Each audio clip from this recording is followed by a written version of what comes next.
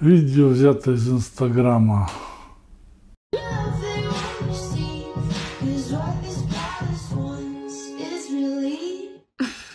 Вот это вот замечательное видео, которое как раз и демонстрирует, как мир построен на отталкивании. Вот что не возьми, оно подходит вот это видео. Если мы берем ковер галактик, да, вот эту вот взвесь галактик, этот массив галактик, вот он примерно вот так и расположен. Калиброванные массы плюс-минус расталкивают друг друга и получается равномерное заполнение. И когда мы смотрим на модели нашего космоса, на фотографии в кавычках нашего космоса, да, то мы как раз получаем вот такую картину. Это силовая картина. Дальше, если мы посмотрим на вещественную материю, вот она вот именно таким образом и как раз и расположена. Все друг от друга отталкивается, поэтому оно не схлапывается в одну точку, а внешними силами заставляет вот этот вот комок вещественной материи находиться в том состоянии, в каком он есть. Получить эту картину на прямом притяжении невозможно. На прямом притяжении мы получаем коллапс, обвал. То есть физически невозможно, что наш мир построен на прямом притяжении. Вот эта вот схема это доказывает. То есть эксперимент показывает, как дела обстоят на расталкивании, приталкивании, и как дела обстоят на прямом притяжении, когда все обваливается. Это вот факты, которые просто уже стыдно как-то не признавать, не замечать. Спасибо, что присылаете интересные материалы. Давид. Ломоносов в гробу переворачивается от мысли, что в университете, который он основал, преподается релятивистская ахинея как основная доктрина мироздания. Я не против того, что релятивизм изучается с критической точки зрения той карикатурой, как факультатив, который он является. Критики релятивизма часто понимают эту теорию больше, чем сами релятивисты. Но эта теория должна иметь статус альтернативный. Должен существовать институт Ломоносова, где преподаются взгляды Ломоносова, золотые слова. Должен существовать университет, институт Ломоносова, где преподаются взгляды Ломоносова, а не Шута Эйнштейна или Ньютона. Вот ньютовская версия гравитации несостоятельна. Да? У нас есть университет Ломоносова. Да? Почему мы там не преподаем версию Ломоносова?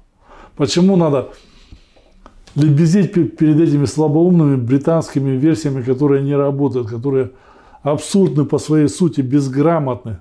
Мы их преподаем. И такой институт должен иметь государственный статус, чтобы выпускники имели право работать по профессии и были признаны государством со всеми правами и дипломом.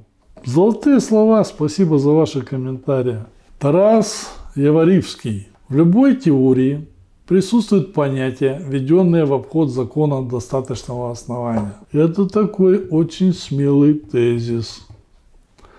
Например, недискретная материя бесконечной протяженности у Виктора. То, что два магнита отталкивают одноименными полюсами, вовсе не доказывает недискретная, непрерывная, бесконечная по протяженности поля. Математически на графике, да, сплошной непрерывный график, но реальность не обязана совпадать с математической моделью. Я вынужден вас огорчить, уважаемый Тарас.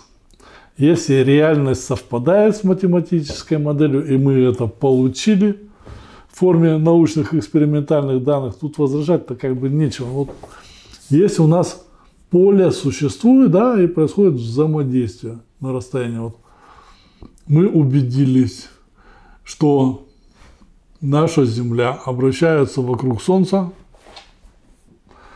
Это происходит за счет каких-то сил, и это не может быть ничем, кроме как полем в недискретной форме. Почему в недискретной? Потому что Земля не улетела, поле не кончилось. Да? То есть вот в этом диапазоне Земля, Солнце, у нас, зараза, есть поле. И оно не дискретно, оно не прервалось. А оно продолжилось от и до. Все, без вариантов. Это научный факт. Дальше мы посмотрели дальше-то. Увидели там Юпитер, Сатурн, они тоже в поле Солнца, да? И тоже это работает схема. То есть это научный факт. Это не какие-то там отклонения от закона достаточного основания. Это факт, который вот подтвержден. Этот факт, нам даже для этого не надо видеть Сатурн. Мы бы были слепые, мы бы все равно знали, что это так. Потому что, опять вот эта схема. Наша Вселенная может быть построена волшебным образом или силовым. Если построена силовым, значит есть силы. Если силы есть, значит они передаются за счет чего-то. Два варианта. Дискретная форма передачи, не дискретная. Дискретную проверили, посчитали фильм «Физика эфира». Фильм «Эфир» смотрите, там полное доказательство. Дискретную посчитали, не, невозможно. Остается методом исключения только полевое, недискретное воздействие. Все без вариантов. Как 2 минус 1 равно 1. Доказано. Все. Так что ваши претензии сворачиваем в трубочку, отпускаем на волю. Ник Майнер. Простите за мат, но возникает немного эмоциональный вопрос. Пипи вы применяете законы логики к законам физики. С какого пипи? Законы физики строятся на основе эмпирических наблюдений, которые встречаются в реальной жизни, математических расчетов и проведенных научных экспериментах, подтверждающие те или иные законы физики. А законы логики базируются на абстрактных вещах. То есть человек говорит, что законы логики применительно к физике применять, ну, нелогично, нет, по-другому как-то неправильно, да? Законы логики применимы ко всему. Вот если вы что-то считаете, какие-то у вас эмпирические наблюдения, если вы их не можете с помощью логики обработать, то вы вообще ничего не можете. Вот это вот вся ваша копошение, если оно вне рамок логики, оно безмозгло, оно слабоумно, оно, люди не смогли сосредоточиться, оно не связано. Вы это правда не понимаете. И аргумент у вас, что здесь эксперименты, эксперименты, опирающиеся на логику, все измерения, все наблюдения, опирающиеся на логику. Вот все. Вы просто этого не замечаете, вам кажется, что этого нет, но ну, все опирается на логику. Без логики вы ничего не можете сделать. Вы даже не можете воду в стакан налить без логики. Сейчас я тебе чаек налью. Так вот. Сосредотачивайтесь, пожалуйста, как-то. А, еще ругаетесь матом, что-то тут. Мне кажется, за такое вас нужно отдавать под научный трибунал. Так. Из-за того, что я применяю законы логики к законам физики, меня надо отдавать под научный трибунал. Так думает Найк Майнер. Эти люди живут с нами на одной планете, вот кто так думает.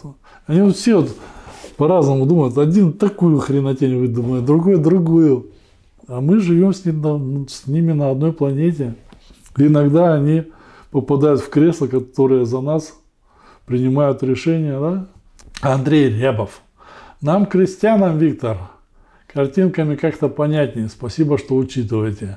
Моей жене на работе начальство поручило сделать какие-то инструкции с картинками, и начальница сразу ей дала совет. Инна, делай как для дебилов. То есть начальница уже сталкивалась, как понимают информацию люди. И это в одном из крупнейших банков города. А если серьезно, может быть сразу и делать как страницы для школьного учебника физики, чтобы в будущем опять не делать по новое.